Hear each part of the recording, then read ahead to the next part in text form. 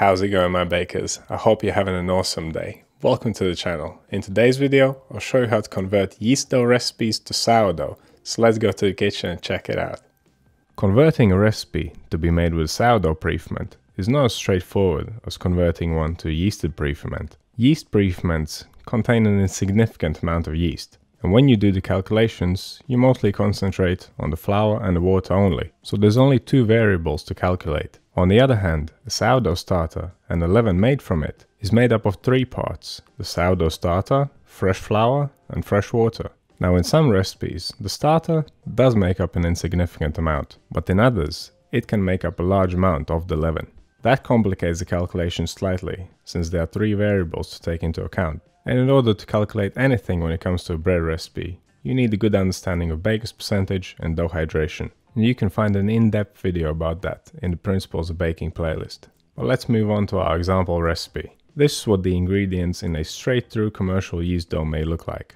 We have some white flour, whole wheat flour, water, salt, and instant dry yeast. We want to take some of that flour, some of that water and pre-ferment them ahead of time. But instead of using dry yeast, we want to swap it out and use our trusty sourdough starter. If we want to do this effectively and consistently, then we must do this on paper first. And this is how I would do it. At the top of the page, we have the straight through yeast dough formula. There's 345 grams of white flour, 55 grams of whole wheat flour, 8 grams of salt, 260 grams of water and 4 grams of yeast. Now in baker's percentage, both the whole wheat flour and white flour make up 100%. 2% of salt, 65% water and 1% of dry yeast. Baker's percentage or baker's maths works exactly the same way in the main dough as well as in the pre-ferment. We're not using the yeast today, so we're going to cross it off right away.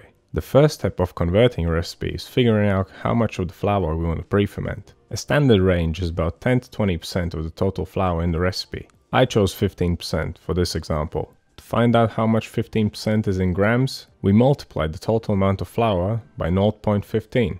There's 400 grams in total. 15% of 400 grams is 60 grams of flour. And that's the amount of flour in our pre-ferment. Now we need to figure out how much water there is in the pre-ferment. I decided to keep it at 65% to match the dough. So using Baker's maths, we take the total amount of flour in the pre-ferment, times it by 0.65, which gives us about 40 grams of water. It's okay to round these numbers up or down. So adding up the flour and water gives us 100 grams. That is the total weight of the pre-ferment. As I mentioned earlier, pre-ferment is made up of three parts, starter, flour and water.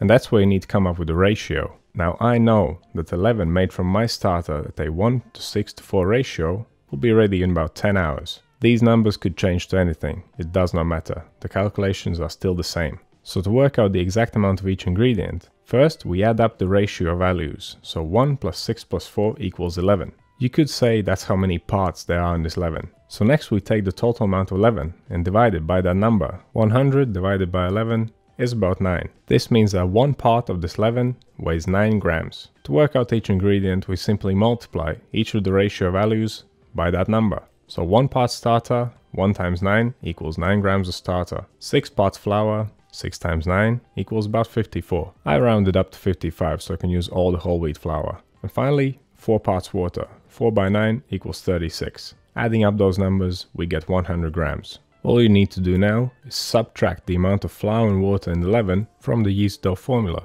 That's how we divide it into two parts, the pre-ferment and the main dough. There's one last thing to consider, the hydration or the ratio of the starter that you're going to be making the leaven out of. My starter is always 100% hydration, so 1 to 1. It contains equal parts flour and water, so the 9 grams of starter in my leaven are made up of 4.5 grams of flour and 4.5 grams of water. So that means that the hydration of the leaven has gone up to about 69%. I normally don't worry about this number too much. I care more about the ratio. The 65% from the beginning was just a means to getting to that 100 gram total, which makes for a nice and neat recipe, while the final formula for the whole dough is still at the right hydration once we subtract the leaven ingredients from the main dough. And here's another example Let's say we want to convert a yeast pre-ferment to a sourdough one.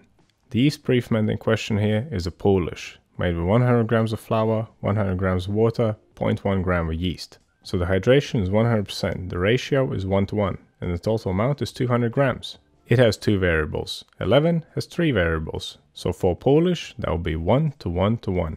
Once again, we add up the ratio values, and then divide the total amount of pre-ferment by that number. So 200 divided by 3 is about 66. And that's how many grams each of the ingredients will weigh. But let's say we want to convert to a different ratio.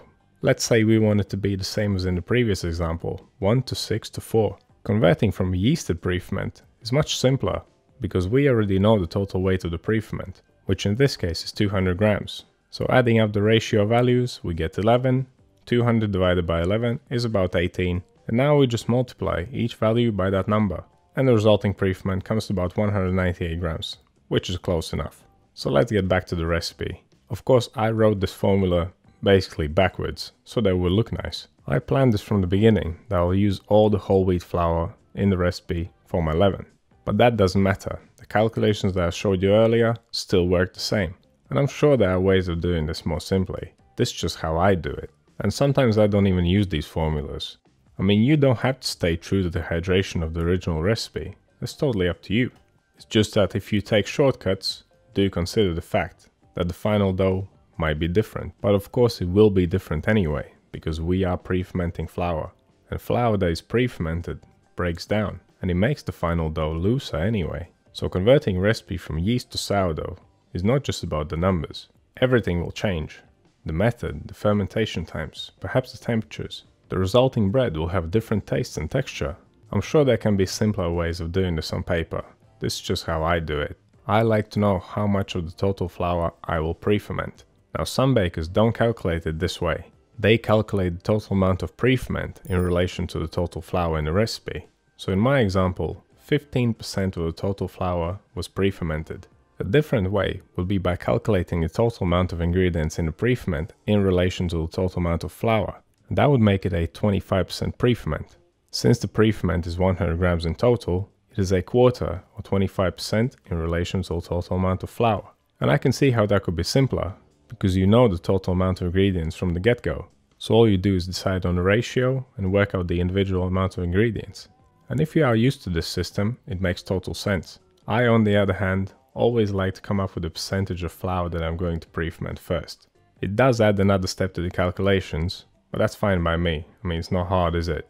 I would be interested to know how you do it. Do you decide the flour percentage to be pre-fermented? Or you just decide the percent of pre-ferment? And if you haven't done it either way, I hope this wasn't too confusing for you. But here's the bread that we made. It is obviously very different from one that would be made with yeast. Don't forget to check out the sourdough bread playlist on my channel. You'll find quite a few nice recipes there, and plenty of sourdough bread principle videos. And always check out the Principles of Baking playlist, where I have general principles for all breads. And follow the link below the video for a written article.